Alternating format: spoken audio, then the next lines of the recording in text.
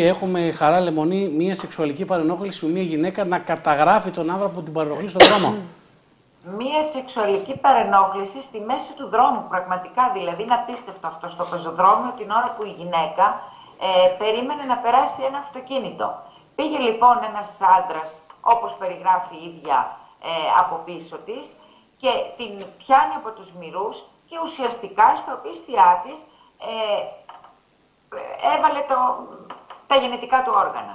Ε, αυτό δεν το έκανε μία φορά, συνέχισε και στο τέλος της είπε και ευχαριστώ. Η γυναίκα άρχισε βέβαια να φωνάζει προκειμένου να, να δει ο κόσμος τι έχει συμβεί και εκείνος, ενώ φώναζε εκείνη, ε, συνέχιζε να της λέει ευχαριστώ.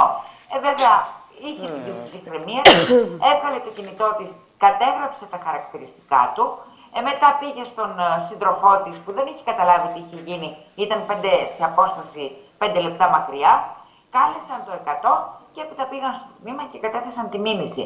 Ε, το βίντεο, μετά το αφού ε, έβγαλε το βίντεο που κατέγραψε το δράστη, ε, έκανε μία ανάρτηση σε μία ιστοσελίδα σε γνωστή ομάδα της Κυψέλης που είπε ότι της έγινε σεξουαλική επίθεση στο δρόμο και ζήτησε από όσες ή όσους έχουν βιώσει mm. κάτι αντίστοιχο να επικοινωνήσουν μαζί της και να πάνε στο τμήμα της Κυψέλης όπου βρίσκεται αυτός ο άνθρωπος προκειμένου να δουν αν θα τον αναγνωρίσουν ή όχι.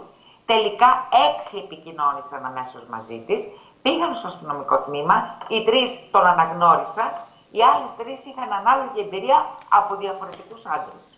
Ε, δηλαδή είναι σύστημα τελικά αυτό. Είναι απίστευτο. Τι να πεις, τι να πεις.